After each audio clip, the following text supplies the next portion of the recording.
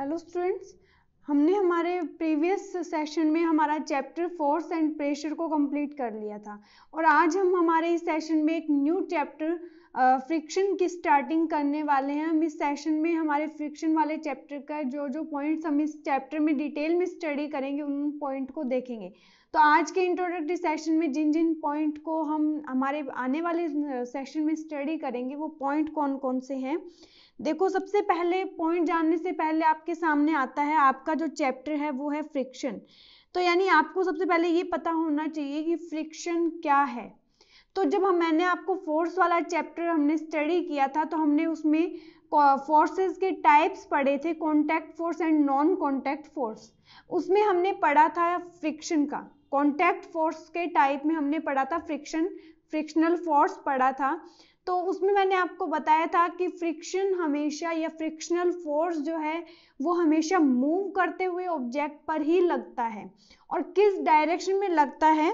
अगर आपका ऑब्जेक्ट इस डायरेक्शन में राइट साइड मोशन कर रहा है तो उस पर फ्रिक्शन जो फोर्स लगेगा, वो लगेगा लेफ़्ट साइड आप फोर्स कहाँ लगा रहे हो? राइट डायरेक्शन में फोर्स लगा रहे हो तो मोशन भी मूव जो करेगा ऑब्जेक्ट वो राइट डायरेक्शन होगा।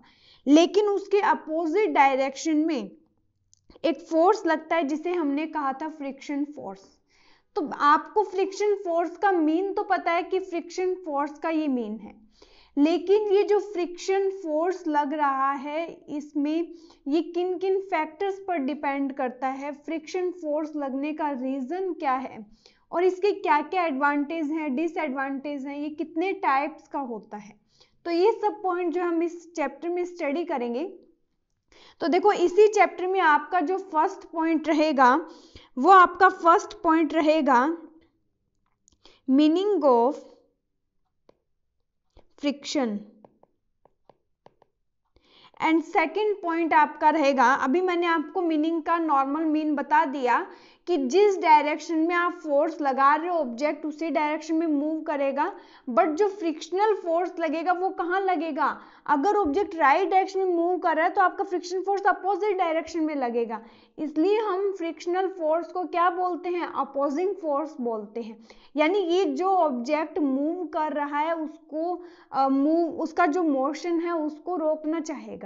अगर कोई ऑब्जेक्ट रेस्ट की फॉर्म में है तो ये उसे कहेगा कि भाई तू रेस्ट में ही रहे। अगर वो मूव करना स्टार्ट करेगा तो उसके मूव मोशन को ये रोकना चाहेगा। यानी वो चाहेगा कि तू रेस्ट में रहे। और अगर कोई ऑब्जेक्ट मूव कर रहा है, उसमें मोशन हो रहा है तो ये क्या करेगा? उसको बोलेगा, तेरा मोशन रोक दे। यानी वो उसकी स्पीड को कम कर देगा। तो जो फ्रिक्शनल फोर्स या जो फ्रिक्शन है, वो क्या कर रहा है? मोशन को रजिस्ट कर रहा है, उसका मतलब उसको रोकने की कोशिश करता है वो। तो हम सबसे पहले इसमें पढ़ेंगे मीनिंग ऑफ़ फ्रिक्शन हमारा इसमें सेकंड पॉइंट जो रहेगा, वो रहेगा causes of friction causes of friction and जो थर्ड पॉइंट हमारा इसमें रहेगा, वो हम पढ़ेंगे फैक्टर्स अफेक्टिंग कि यानी कौन कौन से ऐसे फैक्टर हैं जो फ्रिक्शन को अफेक्ट करते हैं? यानी जिसके कारण फ्रिक्शन कम हो जाता है या ज़्यादा हो जाता है उस पर कैसे उन फैक्टर्स का इफ़ेक्ट होता है? वो ऐसे कौन कौन से फैक्टर उनको हम इसमें पढ़ेंगे। फैक्टर्स अफेक्टिंग फ्रिक्शन एंड जो फोर्थ पॉइंट हमारा इसमें रहेगा, वो रहेगा टाइप्स ऑफ़ फ्रिक्शन कि यानी फ्रिक्शन जो है वो कितने टाइप्स का होता है। और फिर जो हम इसमें पॉइंट पढ़ेंगे नेक्स्ट पॉइंट हमारा रहेगा इसी चैप्टर में टाइप्स ऑफ़ फ्रिक्शन में हम टोटल इसके जो टाइप्स पढ़ेंगे, वो रहेगा static friction sliding friction rolling friction and fluid friction और फिर नेक्स्ट पॉइंट जो हमारा इसी के अंदर आएगा, हमारा नेक्स्ट पॉइंट आएगा कि फ्रिक्शन एक नेसेसरी एविल बोला जाता है फ्रिक्शन को। फ्रिक्शन इज़ नेसेसरी एविल अब इसको नेसेसरी एविल बोलने का रीज़न क्या है? यानी नेसेसरी एविल जो आपको पॉइंट रहेगा, उसमें हम देखेंगे कि इसके एडवांटेज भी हैं और डिसएडवांटेज भी हैं। कुछ हमारे डेली लाइफ के कुछ वर्क ऐसे हैं जहाँ फ्रिक्शन होना बहुत कंपलसरी है। अगर फ्रिक्शन नहीं होगा तो वर्क नहीं हो पाएगा। और कुछ वर्क ऐसे हैं जिनमें फ्रिक्शन के कारण हमें लॉस होता है। तो उन पॉइंट्स को हम इसी में पढ़ेंगे। हमारा जो नेक्स्ट पॉइंट रहेगा वो रहेगा फ्रिक्शन ए नेसेसरी एविल इसमें हम क्या पढ़ेंगे फ्रिक्शन के? इसमें हम पढ़ेंगे advantage and disadvantage of friction और फिर जो हमारा इसमें नेक्स्ट पॉइंट रहेगा, यानी friction is a necessary evil इसमें हम उसके एडवांटेज और डिसएडवांटेज के बारे में स्टडी करेंगे कि कैसी, कौन सी कंडीशन है जहाँ पर फ्रिक्शन होना बहुत कंपलसरी है। फिर हम इसमें पढ़ेंगे कि आप आप ऐसे कौन से वेज के थ्रू आप फ्रिक्शन को बढ़ा सकते हैं या घटा सकते हैं। यानी फ्रिक्शन को आप इंक्रीज भी कर सकते हो और फ्रिक्शन को आप डिक्रीज भी कर सकते हो।